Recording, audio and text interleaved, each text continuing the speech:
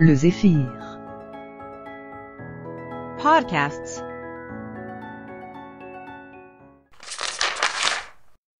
Max Décugis, le père du tennis français À la Fédération française de tennis, on loue ses qualités sportives hors du commun. Max Décugis, né en 1882 et mort en 1978, appartient à la génération qui précède les mousquetaires, comme Cochet ou Lacoste, vainqueurs de la Coupe Davis à la fin des années 1920. Quand Suzanne Langlaine débute sa carrière, Décugis a déjà acquis de nombreux titres français et étrangers, avec sa raquette en bois. Portrait de cet ancien numéro 1 français, craint par ses pairs et sanctionné pour avoir tenté de professionnaliser son sport. Décugis a débuté sa carrière vers 1898, soit une vingtaine d'années avant le sacre des premiers mousquetaires, qui ont remporté à six reprises la Coupe Davis entre 1927 et 1932, une compétition à laquelle il avait participé avec la première équipe de France en 1904 et fut hélas largement battu. Certes moins connu que Jean Borotra ou René Lacoste. Décugis n'est pas moins considéré comme le premier champion français dans son sport et brille durant les trois premières décennies du XXe siècle. Mieux, il est reconnu, admiré et craint par ses pairs. Par exemple, l'anglais Arthur Wallis Myers, devenu auteur après sa carrière durant les trois premières décennies du XXe siècle, évoque un tennisman complet au jeu intelligent. Puissant malgré sa petite taille, 1m73, Max Décugis euh, décroche service précis et smash imparable avec une petite raquette. Il sait retourner les matchs, comme un jour de 1912 à Bruxelles, où il rencontre le néo-zélandais Anthony Wilding, considéré à l'époque comme le plus fort au niveau mondial. Mené 06-06-03, le Parisien parvient à égaliser au troisième set, avant que son adversaire vexé reprenne la main, puis obtienne deux balles de match. Wilding décide de finir en beauté, et lui, qui ne monte que très rarement au filet, s'avance à la volée, sur sa première balle de service. Mais Décugis le passe par un magnifique revers, net et précis. Wilding s'énerve, et sur sa deuxième balle, fait double faute. Résultat, le Français remporte le jeu, ainsi que le set. Tout s'inverse. Max Décugis plie le match, gagne les deux derniers sets de haute volée, 6-0, 6-0. Au-delà de cette performance, maintes fois commentée, c'est surtout son palmarès qui impressionne, et qui a contribué à populariser le tennis importé de Grande-Bretagne à la fin des années 1870. Durant la fin de la guerre, dans un Paris dépourvu de stade, au niveau de la porte d'Auteuil notamment, Max Décugis gagne un peu moins de dix fois le championnat national, ainsi que de très nombreux tournois, plus ou moins importants, aux quatre coins du pays. Il est le premier Français à remporter un titre à l'étranger, à Hambourg en 1901, et rentre dix ans plus tard de Wimbledon, la victoire en double messieurs dans la poche. Outre sa médaille d'or aux Jeux olympiques d'Anvers de 1920, il gagne quelques finales au championnat du monde de tennis à Saint-Cloud, près de Paris, en compagnie de Suzanne Langlaine, avec qui il s'associe régulièrement. Ses partenaires de jeu, il en a de nombreuses, à commencer par sa première femme, Marie, la fille du peintre François Flamin, avec qui il a bataillé lors de simples mixtes, mais aussi joué en double, en particulier à l'occasion de la Coupe des Ménages, un tournoi parisien dédié en particulier à l'occasion de la Coupe des Ménages, un tournoi parisien dédié aux maris et femmes, dont l'organisation prouve au moins l'intérêt des rencontres mixtes à cette époque.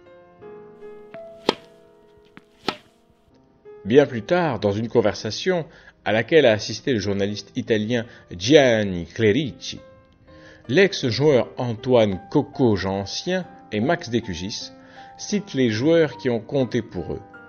Quand le premier évoque notamment le Britannique Briggs, premier champion de France en 1891, le second pense à un couple. En 1913, Max Décugis s'exprime sur la complémentarité entre femmes et hommes. Certains joueurs ne prennent pas le mixte au sérieux. Ils le considèrent encore comme une partie de flirt, ou comme une sorte de récréation pour se changer les idées. Ceux qui se sont fait une spécialité des mixtes savent l'intérêt que procurent les innombrables variétés qu'on y trouve. Et de poursuivre sur le tennis féminin, un joueur pourra y déployer son activité physique et morale autant en simple qu'en double. Avec une partenaire au fond du jeu, il a l'avantage de récolter tous les jolis coups à faire. Le rôle de la femme consiste donc à fournir à son partenaire des occasions de se montrer plus adroit que l'autre homme, et ensuite à l'admirer. Un propos d'un homme de son temps qui fait sourire son petit-neveu, Philippe Omer d'Écugis. Max d'Écugis aimait beaucoup les femmes, dit-il. Dans ma famille, on pense même qu'il a pu être l'amant de Suzanne Langlaine et qu'il a eu de nombreuses compagnes dans le milieu. Les cheveux gominés, les yeux à l'encre de Chine. Le bonhomme a pu plaire alors. Philippe Homer, âgé de 39 ans, qu'il a à peine connu, parle de son aïeul comme d'un épicurien. Selon lui, ce dernier profitait de la vie et ne s'entraînait pas forcément tous les jours, conseillant au passage de boire du champagne entre deux jeux. Dans L'amour du tennis, Patrice Dominguez écrit que le tennisman n'est pas avare de bons mots.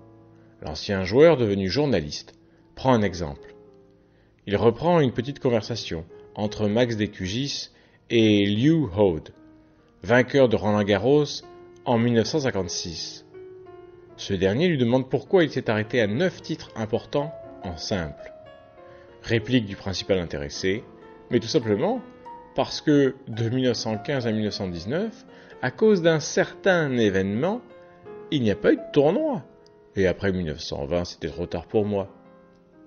Pour cette compétition-là peut-être, mais il continuera néanmoins en cette décennie à gagner des coupes. C'est que Max Decugis n'a jamais vu le tennis comme un simple passe-temps, écrit Patrick Dominguez. Le tennis a toujours fait partie de sa vie. Il a toujours pris les choses très au sérieux. Preuve en est la joie qu'il éprouve à revenir à Wimbledon, 50 ans après sa victoire en double avec André Gobert. Rapidement après le début de sa carrière, Decugis commence à gagner sa vie grâce à sa discipline. Enfin, indirectement, puisqu'à l'époque un tournoi ne rapporte rien.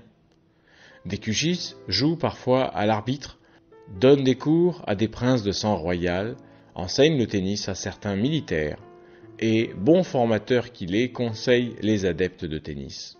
Dans l'ouvrage Tennis, hockey, pommes, balles et boules, il donne certaines recommandations. Et d'abord sur l'accoutrement. Lui qui joue comme les autres, tout de blanc vêtu, et jamais sans son éternel cardigan ivoire. Concernant la chevise, par exemple, il invite chacun à en prendre une assez large pour ne pas gêner le mouvement des bras. D'après lui, en outre, la ceinture doit être en caoutchouc pour faciliter la respiration et les points de côté. Enfin, ne pas oublier les chaussettes blanches, épaisses et en laine. Ces recommandations concernent aussi la technique. Le lointain prédécesseur de Yannick Noah revendique d'ailleurs la paternité de la théorie de l'attaque au centre. Lui précise qu'il s'agissait en réalité d'une suggestion que lui avait glissé un tennisman étranger avant une rencontre importante. Joue la balle longue au centre et monte au filet. Curieux d'Écugis essaye, gagne, et comme en remerciement envers son conseiller, traduira en français The Modern Lawn Tennis, un des chefs-d'œuvre sur la technique. Max Décugis, en outre, dévoile comment il convient de tenir la raquette dans le premier journal sportif dédié à son sport et intitulé Tennis, paru entre 1910 et 1913.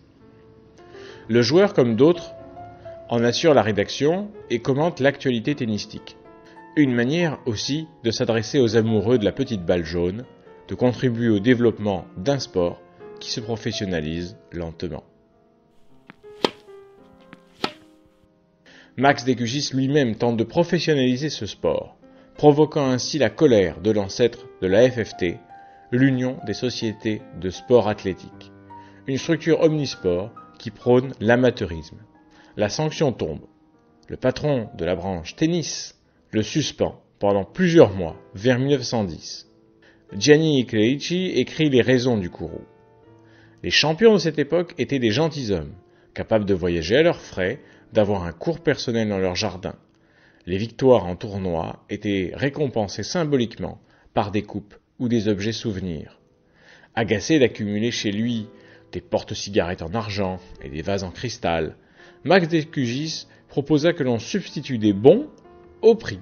Et il arriva un coupon après l'autre à s'acheter une automobile. Ce qui irrite donc les autorités de son sport, mais qui n'étonne pas son petit-neveu. Je ne connaissais pas l'épisode de la voiture, mais ce genre de troc ne m'étonne pas. Dans la famille, il ne reste quasiment plus de coupes de décugis. Le sportif les aurait vendus pour pouvoir survivre. Et d'ajouter que son grand-oncle aurait travaillé à la fin de sa vie en tant que fleuriste pour subvenir à ses besoins. Mais il n'a pas bossé qu'à la fin de sa vie. D'après la Fédération française de tennis, il aurait été maroquinier pendant un temps. Max Décugis, dont la famille vivait au fin fond des Yvelines, à Septeuil, aurait géré également une porcherie dans cette commune, dans un moulin aujourd'hui désaffecté. Polyvalent, le garçon.